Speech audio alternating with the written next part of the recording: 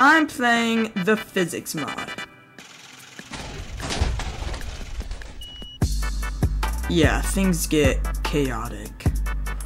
You would be dead. Oh, I'm I'm under the water. There are so many things to do in this mod. For example, opening doors, destruction physics. Oh, dude, I finally found diamonds. They also have mob physics. Oh, what's your trades? Holy cow, these trades suck. You need to leave. Yep, he's dead. Now this is where it gets a bit chaotic.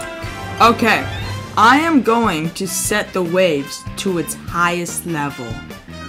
This is where the fun begins. You would be dead. Oh, I'm I'm under the water. Oh, 360? Oh. Oh. Dude. Okay. Now time to spice it up. I have set the weather to thunder. Now, honestly, I think the waves get bigger. Just look at this. You could hear the wind. Oh my, oh my goodness. Thank you guys so much for watching this video, and I hope you have a good one.